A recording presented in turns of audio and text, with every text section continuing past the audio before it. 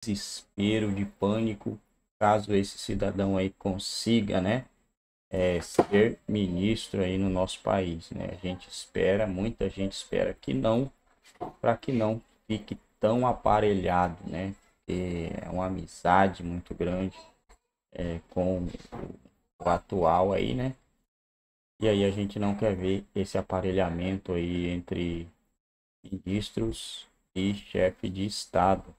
Horrível isso para o país, porque dá aí o, ao chefe o poder de fazer algumas coisinhas, caso ele queira fazer, e pede ali para os amiguinhos, olha, dá uma força aí, não estou afirmando nada, mas dá esse tipo de poder, tomara que não aconteça, a gente está aí na torcida, Operação da PF em data específica para o Exército incomodam militares. Né? Ah, é normal, né?